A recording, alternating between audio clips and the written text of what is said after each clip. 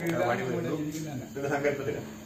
അപ്പൊ ഞങ്ങളുടെയൊക്കെ പ്രധാന പരിപാടി ഉത്സവം ഈ തെയ്യം കഴിഞ്ഞാൽ പിറ്റേ ദിവസം മേലേരി വരും. ഞങ്ങൾ എന്തെങ്കിലും മേലയിലാക്കിയിട്ട്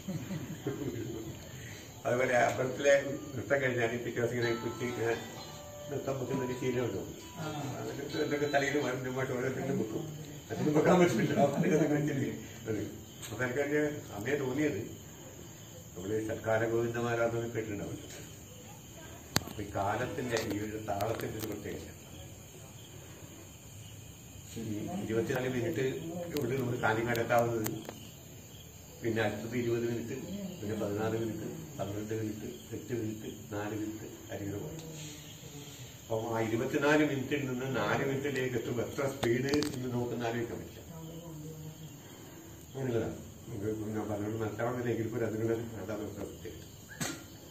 അതാണ് നമ്മുടെ ഒരു ഇതിന്റെ ഒരു വേഗത സാധാരണ കൊട്ടിനനുസരിച്ച് കാലാംഗങ്ങൾക്ക് വന്നു കൊട്ടിനനുസരിച്ച് തെച്ചുകൂടി നിർത്താം ഒരാൾ